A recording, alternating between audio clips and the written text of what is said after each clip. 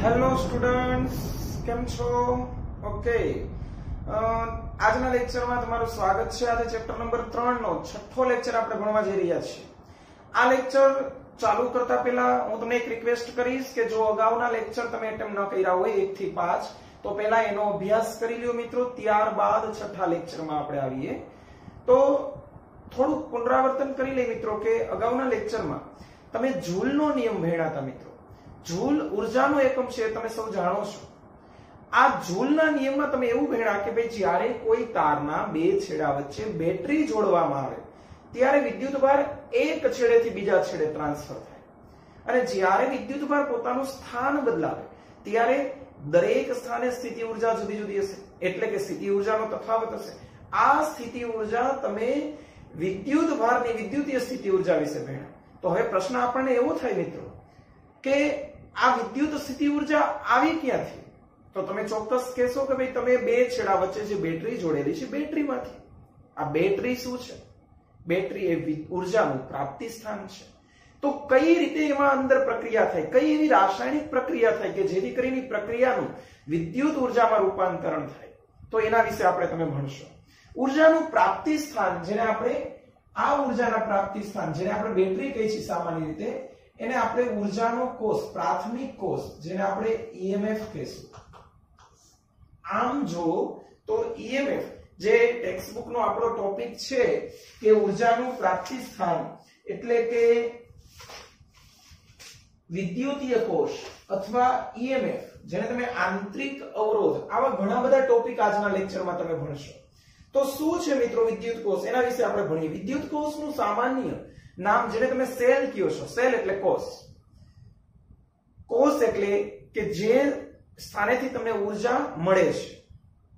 આ જે છે, એની કોષ પેલા આપણે ટોપિકનું નામ લખી લઈએ. કોષ, વિદ્યુત કોષ, અહીંયા જે ભણો છો તમે. એને આપણે રાસાયણિક પ્રક્રિયાથી ભણીએ કે ભાઈ ધારો કે પાત્રમાં, એક પાત્રમાં બે ઇલેક્ટ્રોડ રાખેલા છે મિત્રો. એક ઇલેક્ટ્રોડને નામ આપીએ પોઝિટિવ પી અને બીજાને નામ આપીએ મિત્રો નેગેટિવ એન આ જે ઇલેક્ટ્રોડ છે, એને અંશતઃ ડુબાડેલા છે મિત્રો. એટલે કે અડધા ડુબાડેલા છે. શેમાં ડુબાડેલા છે મિત્રો? વિદ્યુત વિભાજ્ય દ્રાવણમાં. એટલે કે અંદર વિદ્યુત વિભાજ્ય દ્રાવણ ભરેલું છે. હવે મિત્રો તમે પૂછશો કે આ વિદ્યુત વિભાજ્ય દ્રાવણ એટલે શું? જે કેમિસ્ટ્રીમાં તમે સારી રીતે ભણો છો. કે જે દ્રાવણમાં વિદ્યુત ભાર આયન સ્વરૂપે સહેલાઈથી છૂટા પડી શકે. એટલે કે એક ધન આયન હોય, જ્યારે બીજું ઋણ આયન હોય, આવા દ્રાવણને વિદ્યુત વિભાજ્ય દ્રાવણ કયો છો? જેમ કે PbSO4 લેડ સંગ્રાહક કોષ. મિત્રો, એમાં વિદ્યુત વિભાજ્ય દ્રાવણ તરીકે PbSO4 નો ઉપયોગ થાય છે. H2SO4 મંદ સલ્ફ્યુરિક એસિડ. તો આ બધા વગેરે વગેરે વગેરે આ વિદ્યુત વિભાજ્ય દ્રાવણ છે. આ વિદ્યુત વિભાજીય દ્રાવણમાં તમે ઇલેક્ટ્રોડને અંશત એટલે કે અડધા ડૂબાડેલા છે. એક ઇલેક્ટ્રોડને P નામ આપ્યું છે, બીજાને N નામ આપ્યું છે. P ની બાજુમાં જે બિંદુ છે, એને આપણે A નામ આપીએ. N ની બાજુમાં બિંદુ છે, એને નામ આપીએ B. હવે પ્રશ્ન એવો થાય મિત્રો કે આ જે વિદ્યુત વિભાજીય દ્રાવણ છે, એમાં ધન અને ઋણ એમ બંને આયનો છે. એટલે કે ધન આયન જે છે, એ P છેડા ઉપર જમા થાય છે, એટલે આપણે નામ આપ્યું પોઝિટિવ અને ઋણ આયન છે એ બધા એન છેડા ઉપર જમા થશે. પ્રારંભમાં જ્યારે ડુબાડેલા હતા ઇલેક્ટ્રોડ ત્યારે વિદ્યુત ભારની દ્રષ્ટિએ તટસ્થ હતા મિત્રો. ડુબાડ્યા પછી અંદર રાસાયણિક પ્રક્રિયા થઈ. અને આ રાસાયણિક પ્રક્રિયાને કારણે ધન આયન એક ઇલેક્ટ્રોડ પર, એટલે એને નામ આપ્યું પોઝિટિવ એટલે પી ધ્રુવ પી ટર્મિનલ જ્યારે ઋણ આયન બીજા છેડા પર, જેને આપણે નેગેટિવ ટર્મિનલ નામ આપ્યું. તો આ રાસાયણિક પ્રક્રિયાને કારણે આયનીકરણ થયું. આયનીકરણ થયા પછી ધન આયન એક, પી બાજુ અને ઋણ આયન એન તરફ ગયા. હવે આયનો છે વિદ્યુત ભારનું જ નાનું સ્વરૂપ છે. આ વિદ્યુત ભારને કારણે વિદ્યુત સ્થિતિમાન ઉત્પન્ન થયો, મિત્રો. વિદ્યુત સ્થિતિમાન ઉત્પન્ન થયું. પી નું સ્થિતિમાન આપણે ધન લેશું, એનનું સ્થિતિમાન ઋણ લેશું. એટલે કે આ જે સળીઓ છે, એની આજુબાજુ અમુક વિસ્તાર સુધી એનું સ્થિતિમાન લાગુ પડશે. એટલે કે P ની તદ્દન નજીક રહેલું બિંદુ છે એ એટલે A નું સ્થિતિમાન, A નું સ્થિતિમાન આપણે પ્લસ V લેશું. જ્યારે B નું સ્થિતિમાન મિત્રો માઇનસ V લેશું. આ પ્લસનું છે એટલે v પ્લસ લખશું. આ માઇનસનું છે એટલે v માઇનસ લેશું. હવે મિત્રો પ્રશ્ન એવો થાય કે આ a અને b વચ્ચેનો તફાવત કોઈ પૂછે કે va માઇનસ vb તો આપણે એને આ રીતે લખશું. પ્લસ v પ્લસ આ માઇનસ ના માઇનસ vb ના સ્થાને માઇનસ v માઇનસ એટલે માઇનસ માઇનસ પ્લસ એટલે v plus plus v minus હવે આ બંને જે છે, આમ જોવો તો v પ્લસ છે, એનું મૂલ્ય પણ ગ્રેટર ધેન 0 હોય v માઇનસ છે, એનું મૂલ્ય ગ્રેટર ધેન 0 હોય. એટલે કે બે ધન સંખ્યાનો સરવાળો એ હંમેશા ધન જ મળે. એટલે આ જવાબ આવશે તે ગ્રેટર ધેન 0 જશે તો આ મિત્રો a અને b વચ્ચેનો વિદ્યુત સ્થિતિમાનનો તફાવત છે. જે ગ્રેટર ધેન ઝીરો છે, એટલે કે કંઈક ઝીરો કરતા મોટું છે. હવે જો મિત્રો, આ કોષમાં તમારે એકમ ધન વિદ્યુત ભારને એકમ ધન વિદ્યુતભાર ધારો કે એકમ ધન વિદ્યુતભાર અહીંયા છે, કોઈ ધન વિદ્યુતભાર એકમ ધન વિદ્યુત ભારને આપણે વ્યાખ્યા લખી નાખીએ. એકમ ધન વિદ્યુત ભારને નીચા સ્થિતિમાનથી નીચા સ્થિતિમાનથી ઊંચા સ્થિતિમાને ઊંચા સ્થિતિમાન પર લાવવા માટે કરવું પડતું. કાર્ય એટલે બેટરીનું ઈએમએફ મિત્રો. ઈએમએફનું પૂરું નામ છે ઇલેક્ટ્રો મોટિવ ફોર્સ. મિત્રો પાછળ શબ્દ ફોર્સ આવ્યો એનો અર્થ બળ ચોક્કસ થાય. પણ અહીંયા એનું અર્થઘટન બળ નહીં કરતા મિત્રો. ઇલેક્ટ્રોમોટિવ ફોર્સ એટલે જેને ગુજરાતીમાં તમે કહેશો વિદ્યુત ચાલક બળ. ઓકે મિત્રો? વિદ્યુત ચાલક બળ. એટલે કે વિદ્યુત ભારને ચલાવવા માટેનું બળ. પણ વ્યાખ્યા બળ નથી, ઊર્જા છે મિત્રો. કરવું પડતું કાર્ય એટલે ખર્ચાતી ઊર્જા ને તે બેટરીનું ઈએમએફ કહેવાય. તો હું ફરીથી રિપીટ કરું છું મિત્રો. વ્યાખ્યા. કે વિદ્યુત ભાર જે છે, આ વિદ્યુત ભારને નીચા સ્થિતિમાં નીચા લોઅર પોટેન્શિયલથી હાયર પોટેન્શિયલ લઈ આવશે. મિત્રો, નીચા સ્થિતિમાનથી ઉપરના સ્થિતિમાં લઈ જવું છે. તો તમારે ચોક્કસ કાર્ય કરવું પડશે. આ જે વિદ્યુત ભાર છે એકમ વિદ્યુત ભાર નીચે છે. એને મારે ઉપર લઈ જવું હોય તો ચોક્કસ કાર્ય કરવું પડશે. આ કાર્ય જે છે, ઈ કરવા માટે ખર્ચાતી ઊર્જા એટલે બેટરીનું EMF એકમ ધન વિદ્યુત ભારને, એટલે EMF ની વ્યાખ્યા ઉપરથી આપણે સૂત્ર બનાવી એકમ ધન વિદ્યુત ભારને નીચા પોટેન્શિયલથી, એટલે કે લોઅર પોટેન્શિયલથી હાયર પોટેન્શિયલ લઈ જવા માટે કરવું પડતું કાર્ય ને તે બેટરીનું EMF કહેવાય. માટે આનો એકમ મિત્રો મળશે જૂલ પ્રતિ કુલંબ અથવા ન્યૂટન મીટર પ્રતિ કુલંબ અથવા તો વોલ્ટ, જે આપણે વિદ્યુત સ્થિતિમાનમાં પણ આજે ભણ્યા હતા. પણ આ જે વિદ્યુત સ્થિતિમાનની વાત છે, વિદ્યુત સ્થિતિમાન તમે અનંત અંતરેથી આપેલા બિંદુએ લઈ આવતા. જ્યારે ઈએમએફમાં બેટરીની અંદર જ નીચા સ્થિતિમાનથી ઊંચા સ્થિતિમાને લઈ આવશો. ધારો કે બી નું સ્થિતિમાન નીચું છે એનું સ્થિતિમાન વધુ છે, એટલે કે બી થી તમે એ તરફ આવો છો. તો એના માટે તમારે કાર્ય કરવું પડશે. કારણ કે ભાઈ પ્લસથી માઇનસ વિદ્યુત ક્ષેત્ર આમ છે.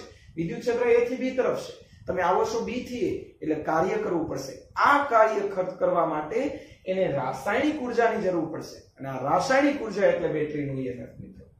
ઓકે તો આ કન્સેપ્ટ હતો આપણો ઈએમએફ એટલે શું? એની વ્યાખ્યા તમે મિત્રો ભણ્યા. હું ફરીથી રિપીટ કરું. વિદ્યુત ભારને નીચા સ્થિતિમાનથી ઊંચા સ્થિતિમાને એટલે કે ઉદ્ગમના એક છેડાથી બીજા છેડા સુધી લઈ જવા ઉદ્ગમ વડે એકમ વિદ્યુત ભાર દીઠ કરવા પડતા કાર્યને ઉદ્ગમનું ઈએમએફ કહેવાય. હવે મિત્રો, પ્રશ્ન એવો થાય આપણને કે આ જે ઈએમએફ છે, જેને તમે ઈ વડે દર્શાવો છો, એ ઈ એટલે આપણા માટે આ બે જે પોટેન્શિયલ બે ટર્મિનલ છે, એના વચ્ચેનો વિદ્યુત વિભવ જ છે મિત્રો. V પ્લસ V માઇનસ એટલે ગ્રેટર ધેન 0 તો આટલું ક્લિયર કરીએ મિત્રો. તો આ નોટ ડાઉન કરજો મિત્રો. ત્યારબાદ હજી આપણે કોર્સનું ડિટેલમાં અભ્યાસ કરીએ મિત્રો. હવે આગળ વધીએ.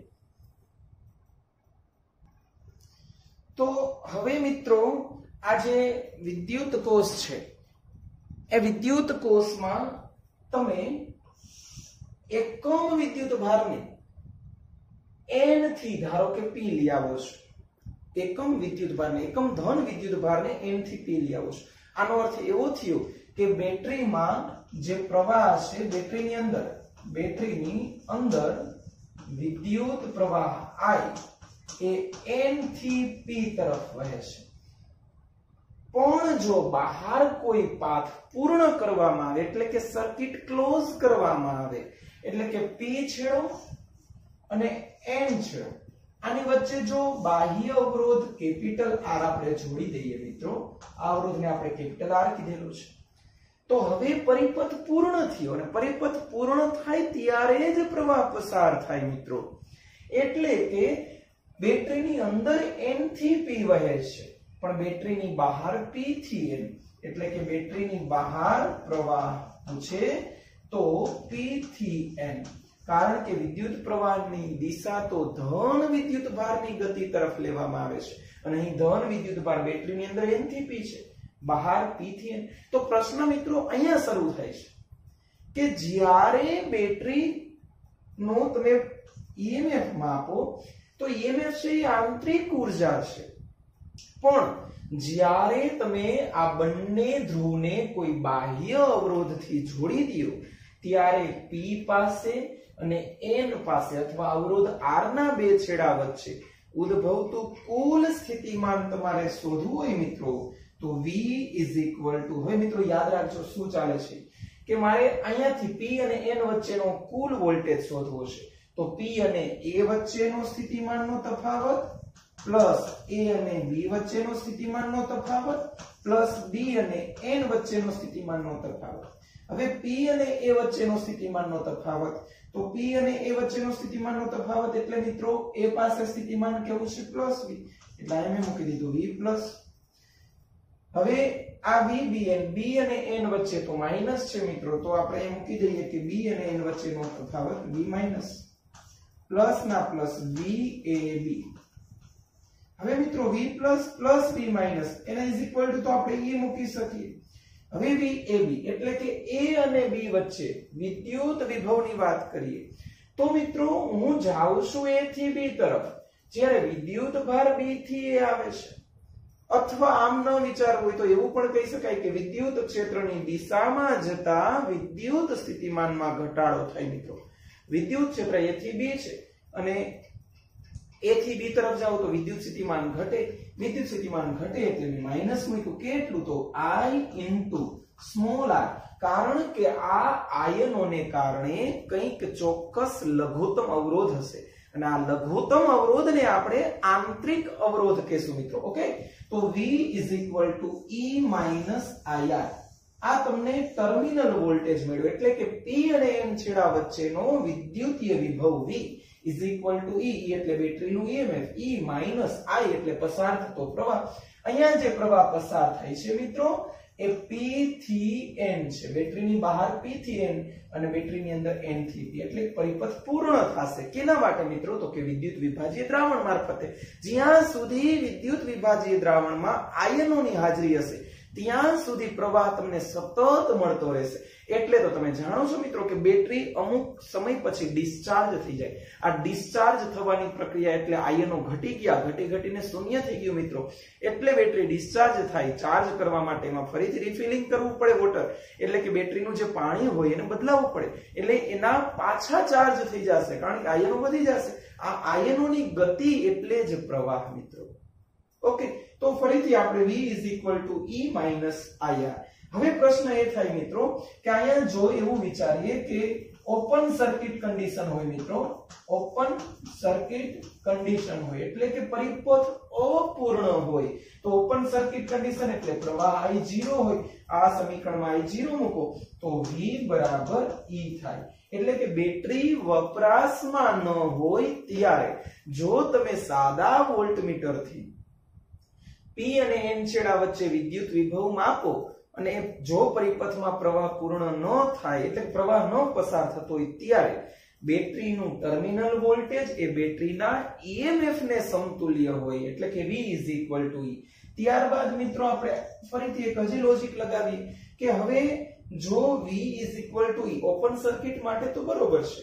પણ પ્રશ્ન એવો થાય કે તમે V બરાબર V ઇઝ ઇક્વલ ટુ અથવા અહીંયા તમે જોડેલું જ નથી. ચાલો મિત્રો. એટલે મારે બાહ્ય અવરોધ અનંત લઈ લેવો એટલે કે જો અવરોધ અનંત હોય અનંત હોય તો પ્રવાહ પસાર ન થાય, એટલે કે r is equal to infinite હોય તો i ઇઝ ઇક્વલ ટુ તો 0 છે જ. તો r ઇન્ફાઇનાઇટ હોય ત્યારે i 0 હોય, પણ હું r ઇઝ ઇક્વલ ટુ જ 0 માનું છું. ધારો કે બાહ્ય અવરોધ કઈ છે જ નહીં. તો પછી પસાર થતો પ્રવાહ મેક્સિમમ હોય, એનું મૂલ્ય e r હોય. ત્યારબાદ આ સમીકરણમાં જો પ્રવાહની વાત આવે, બેટરીમાંથી નીકળતો પ્રવાહ I બરાબર E R R. મિત્રો, આ યાદ રાખજો. આ બધી જ વસ્તુ તમારે નોટબુકમાં નોટ ડાઉન કરી લેજો મિત્રો. ઓકે? તો નોટ ડાઉન કરી લ્યો, ત્યારબાદ ફરીથી આપણે આગળ વધીએ મિત્રો.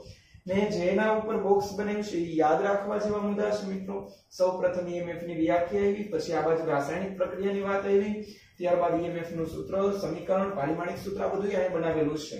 હવે ઈએમએફ ગ્રેટર ધેન 0 ત્યારબાદ V નું સમીકરણ ટુ V E Ir અને એ જુદા જુદા કેસ લીધા છે કે ભાઈ small r sorry is equal to infinite હોય 0 હોય, અને i 0 નો, r 0 નો હોય, ત્યારે બેટરીમાંથી નીકળતો પ્રવાહ i is equal to e upon R plus r.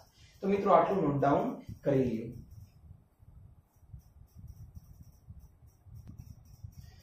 હવે મિત્રો, જે સમીકરણ તમે અહીંયા લીધેલું છે કે જો કોષ વપરાશમાં હોય, એટલે કે કોષ વપરાશમાં હોય એનો અર્થ એવો થયો કે બેટરી ડિસ્ચાર્જ થાય છે. બેટરી શું થાય છે મિત્રો? ડિસ્ચાર્જ. બેટરીમાંથી પ્રવાહ નીકળે છે, જે દર્શાવેલું છે. તો સમીકરણમાં V બરાબર E આર લેવું. અને જો બેટરી ચાર્જ થતી હોય, બેટરી ચાર્જ થાય, ખબર કેમ પડે મિત્રો? તો તમારે એમ યાદ રાખવું મિત્રો, કે જો ધન છેડામાંથી પ્રવાહ બહાર તરફ નીકળતો હોય, તો સમજવાનું કે ડિસ્ચાર્જ થાય છે. અને ધન છેડો, ધન ધ્રુવ છે, એમાં પ્રવાહ અંદર તરફ હોય, અંદરની તરફ પ્રવાહ હોય પ્રવાહ જતો હોય બેટરીમાં, તો સમજવાનું કે બેટરી ચાર્જ થાય છે. ચાર્જ થાય ત્યારે V બરાબર E IR મિત્રો, આ બંને સમીકરણ યાદ રાખવાના છે. હવે પ્રશ્ન આપણો આ છે મિત્રો કે ચાર્જ થતું હોય ત્યારે V E is equal to I into small r છે. એટલે કે જો બાહ્ય અવરોધ ન હોય તોની વાત આપણે કહીએ પણ હંમેશા મિત્રો બાહ્ય અવરોધ તો હોય જ છે, એટલે અહીંયા r ની સાથે પ્લસ કેપિટલ R પણ કરશું. અથવા આવું ન વિચારવું હોય તો આપણી પાસે હજી એક રસ્તો છે કે V is equal to I capital R minus E I into small r. આ E ને સામે જવા દો અને આ બાજુ આવવા દો. એટલે I કોમન કાઢીએ R minus small r. એટલે આ જે છે I is equal to સમીકરણ બને E upon R minus small r.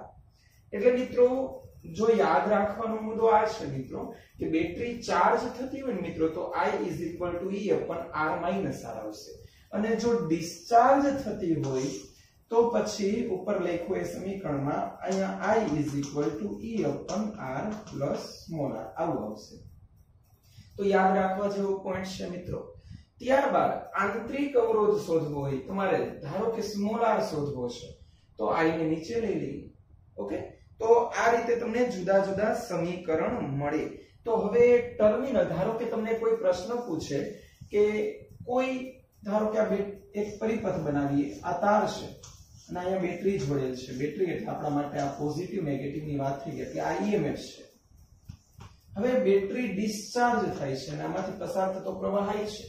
તો હવે તમને આ બે છેડા વચ્ચે, આ A અને B, છેડા વચ્ચે ટર્મિનલ વોલ્ટેજ શોધવાનું કે તો મિત્રો ટર્મિનલ વોલ્ટેજ શોધવાનું સૂત્ર V ઓહમનો નિયમ I R. પણ I છે, એ પ્રવાહ નીકળે છે, શેમાંથી નીકળે છે? બેટરીમાંથી. તો I E R small r capital R માં કેપિટલ R. તો આ તમને ટર્મિનલ વોલ્ટેજનું સૂત્ર મળશે. તો આ સમીકરણ ખૂબ જ કામનું છે દાખલામાં કામ લાગશે. તો યાદ રાખો. ઓકે? તો અહીંયા વિદ્યુત કોષના કેસ પૂરા થાય છે. પણ હજી એમસીક્યુ માટે આપણે આગળ વધારીએ કે એમસીક્યુ માં જો તમને એવો પ્રશ્ન પૂછે કે પાવર મેક્સિમમ જોઈશે મિત્રો. હવે પ્રશ્ન પાવરનો છે મિત્રો. તો પાવર મેક્સિમમ જો એના માટેની શરત યાદ રાખી લો કે બાહ્ય અવરોધનું મૂલ્ય આંતરિક અવરોધ જેટલું થવું જોઈએ.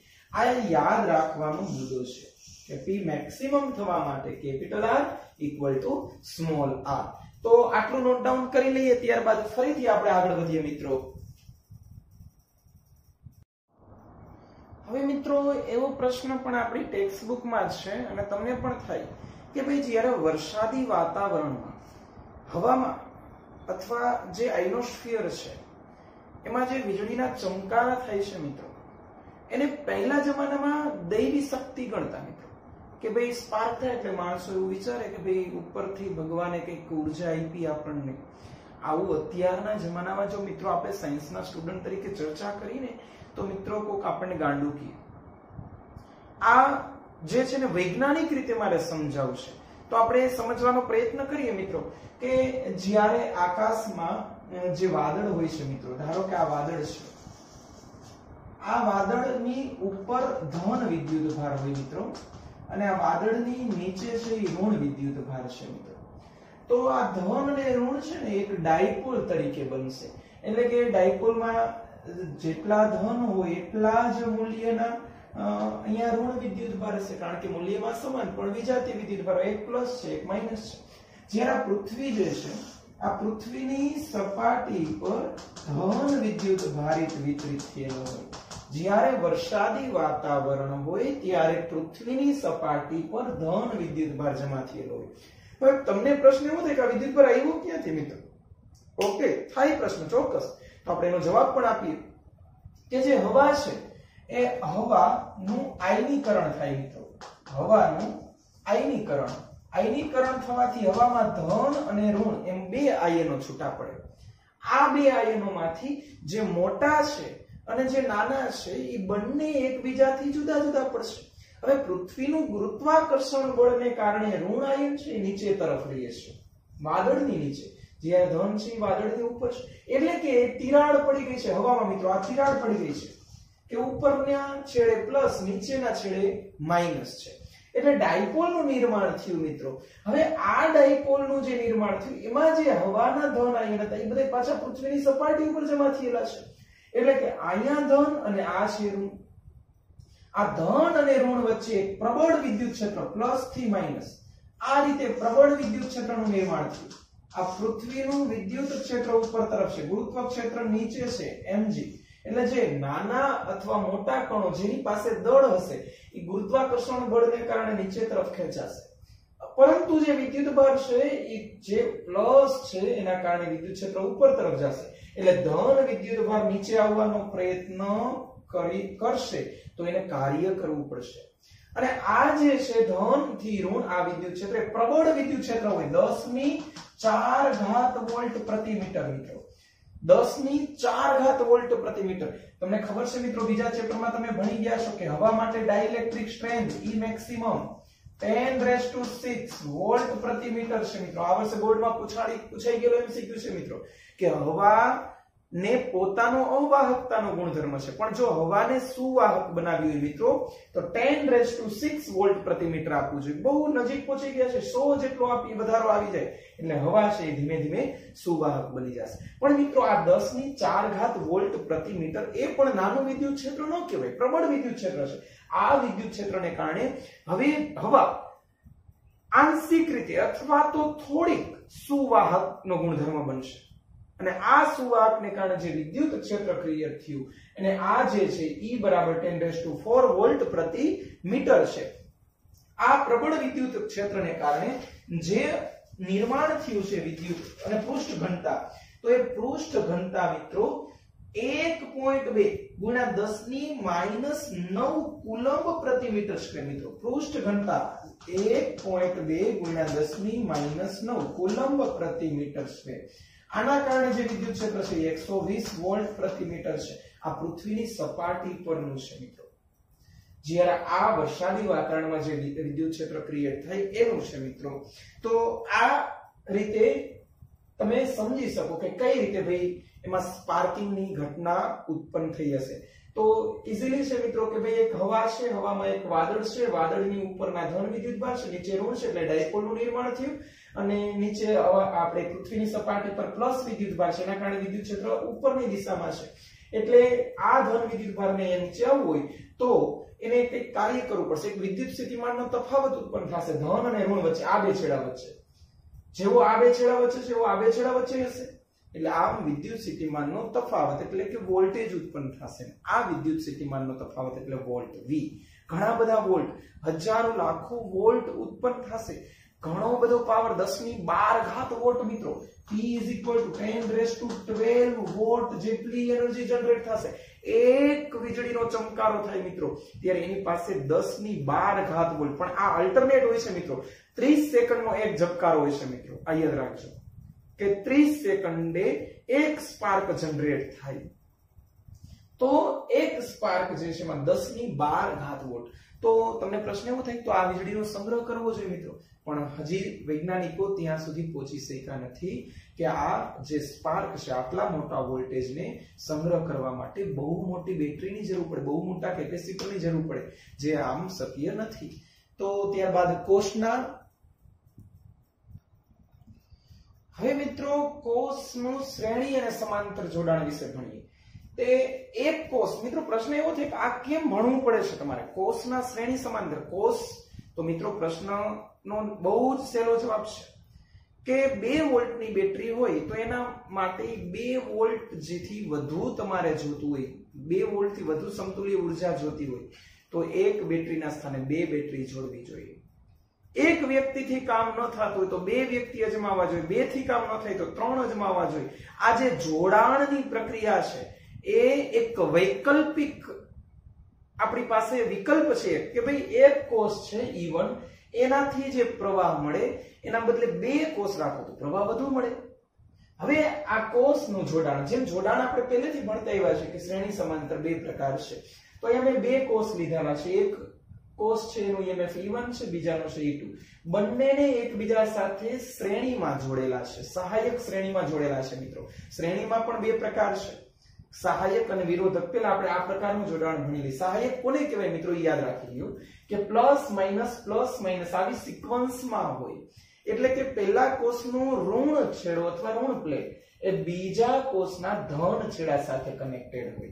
તો આ રીતે જે છે એ શ્રેણી સહાયક મેં જોડાણ બતાવેલું છે. અહીંયા પ્રવાહ સી થી એ તરફ આવે છે મિત્રો. તો અહીંયા બે કોષ છે E1 અને E2 તો આપણે બે છેડાની વાત કરીએ કે એ અને બી છેડાનું વિદ્યુત સ્થિતિમાનની વાત કરીએ. તો મિત્રો જોઈ શકો કે બેટરીના ધન છેડા તો મિત્રો અહીંયા પ્રવાહ જે છે એ સી થી એ તરફ આવે છે. આપણી જર્ની જે છે A અને સી વચ્ચેનો કુલ સ્થિતિમાન આપણે શોધવાનું છે. તો પહેલા એ અને બી વચ્ચે કટકા પાડી દે. એ અને બી અને બી તથા સી એટલે VAB E1 IR1 ડિસ્ચાર્જ થાય છે એટલે માઇનસ ચાર્જ હોય તો હું પ્લસ મૂકી એટલે પ્રવાહની દિશા A થી C તરફ હોય તો અહીંયા પ્લસ IR1 મૂકે આ E1 છે નો આંતરિક અવરોધ R1 છે, આનો આંતરિક અવરોધ R2 છે. ત્યાર પછી આને નામ આપી દે સમીકરણ 1 આ જ રીતે B અને C વચ્ચેની વાત કરીએ તો E2 IR2 બંને પ્રવાહ ઇક્વલ કેમ લીધા છે? શ્રેણીમાં છે. શ્રેણીમાં પ્રવાહ સરખો હોય મિત્રો. આ જ પ્રવાહ C થી એ સમગ્ર જર્ની દરમિયાન હવે આપણો પ્રશ્ન અહીંયાથી સ્ટાર્ટ થઈ છે.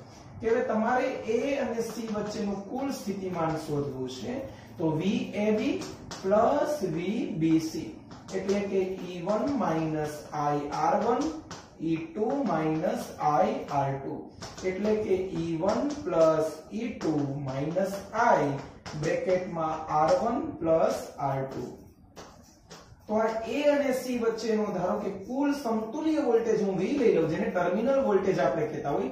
ટર્મિનલ એટલે કે બે છેડા વચ્ચેનો વિદ્યુત સ્થિતિમાનનો તફાવત. A અને C, અંતિમ છેડો અને પ્રારંભિક છેડો. આને આપણે નામ આપી દઈએ ઇક્વલન્ટ માઇનસ આર ઇક્વલન્ટ તો આ જે સમીકરણ છે, એને આપણે વ્યાખ્યાયિત આ રીતે કરશું કે સમતુલ્ય EMF E1 E2 સમતુલ્ય અવરોધ શ્રેણીમાં R1 R2 હવે મિત્રો, આ જે છે તો મેં સહાયક લઈને સમજાવ્યું છે.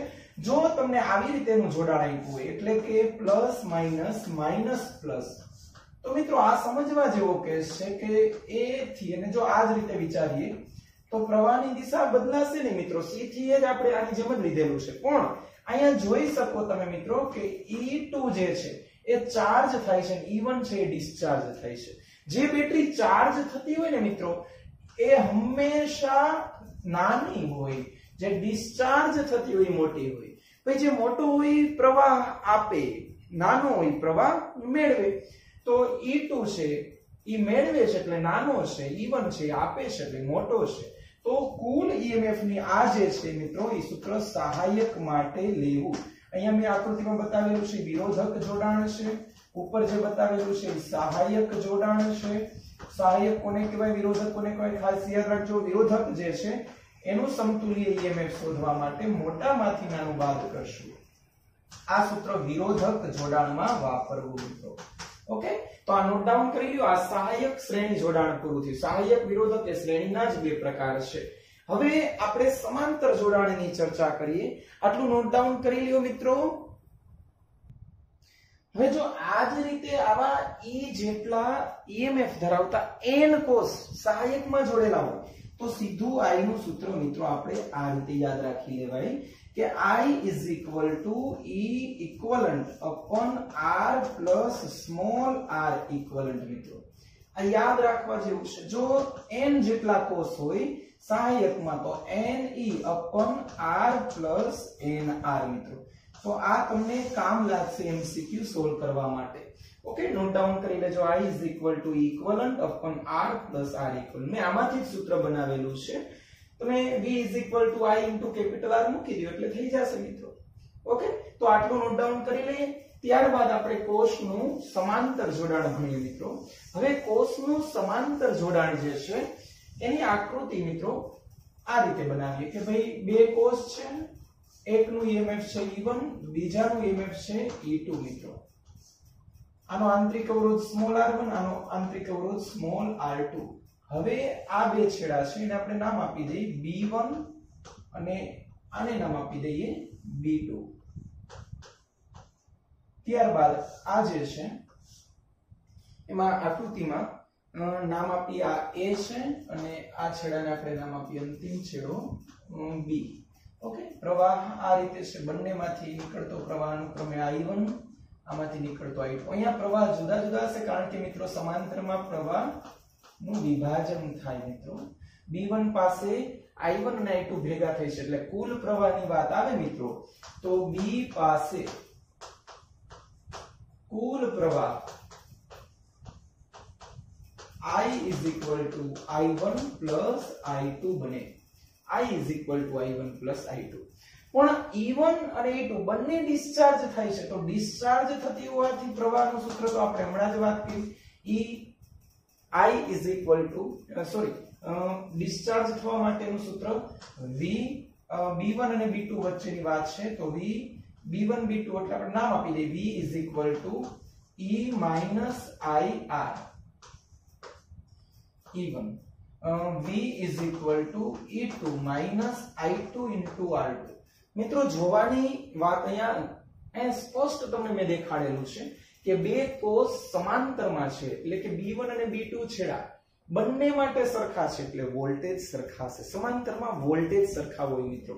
તો અહીંયાથી I1 ને હું કરતા બનાવી લઉં. I1 equal to to E1 minus V ના છેદમાં સ્મોલ r1 આ જ રીતે I2 to equal to E2 minus V upon R2 આ બંનેની કિંમત અહીંયા પુટ આઉટ કરીએ I1 is equal to E1 minus V upon R1 E2 minus V upon R2 therefore E1 upon R1 minus V upon R1 plus E2 upon R2 minus V upon R2 therefore E1 upon R1 plus E2 upon R2 minus V common કાઢીએ 1 upon R1 plus 1 upon R2 બહુ જ સહેલું મિત્રો, કઈ છે જ નહીં.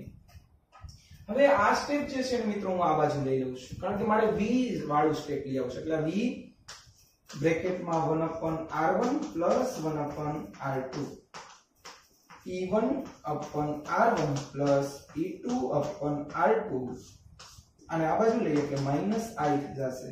હવે એ સાદરૂપ આપીએ મિત્રો હવે જે સાદુરૂપ આપ્યું છે મિત્રો યાદ રાખવા જેવું છે. અહીંયા હું પેલા લસા લઈ લઉં છું એટલે r2 r1 ના છેદમાં r1 r2 E1 R2 plus E2 R1 ના છેદમાં R1 into R2 minus I. હવે મારે આ સ્ટેપને કાઢવું છે તો આને વડે ભાંગી નાખું છું તો V is equal to. ચાલો ભાંગતા જઈએ. E1 R2 plus E2 R1 ના છેદમાં ભાંગી આના વડે. તો R1 R2 કેન્સલ થઈ જશે. અંશનો છેદ અને છેદનો છેદ. તો નીચે રહેશે ખાલી R2 પ્લસ R1 ત્યારબાદ માઇનસ i, આના વડે ભાંગી એટલે કે આના વ્યસ્ત વડે ગુણીએ છીએ. તો R1 R2 ના છેદમાં R1 પ્લસ R2 તો મિત્રો આ સમીકરણને આપણા મૂળભૂત સમીકરણ સાથે ફરીથી સરખાવી તો આવું બને કે v is equal to e equivalent minus i into r equivalent જ્યાં e equivalent is equal to e1 r2 plus e2 r1 ના છેદમાં r2 plus r1 તથા r equivalent ઉપર ગુણાકાર નીચે સરવાળો એટલે કે સમાંતરનું વ્યાપક સૂત્ર ધેટ્સ ઓલ મિત્રો બહુ સહેલું ડેરિવેશન છે. બોર્ડ માટે આઈએમપી પ્રશ્ન છે મિત્રો. તો આ કોષનું સમાંતર જોડાણ હતું મિત્રો. કોષનું સમાંતર જોડાણ. ઓકે તો આ યાદ રાખી લઈએ.